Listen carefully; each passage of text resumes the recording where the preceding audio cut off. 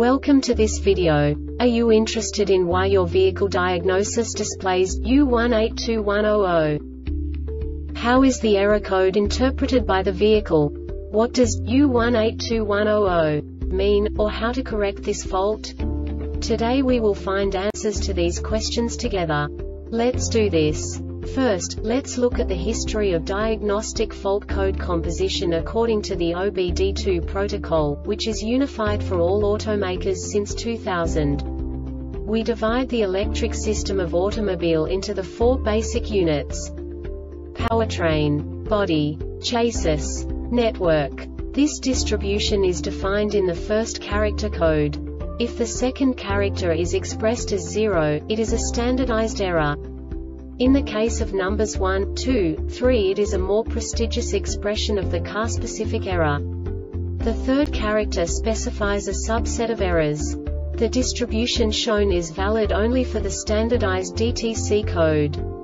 Only the last two characters define the specific fault of the group. The add-on to the error code serves to specify the status in more detail. For example, a short to the ground. Let's not forget that such a division is valid only if the other character code is expressed by the number 0. Our website airbagreset.sk produces useful videos for you. You do not have to go through the OBD2 protocol anymore to know how to troubleshoot any car breakdown. You will find all the diagnostic codes that can be diagnosed in a Cadillac vehicles. Also many other useful things. The following demonstration will help you look into the world of software for car control units. You unbelievably can move the video a bit further. The error code is split into two bytes consisting of 16 bits. One bit is the basic unit that each computer works with.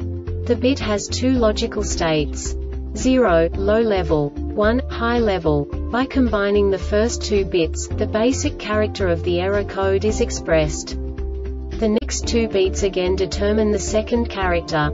The last beat styles of the first byte define the third character of the code.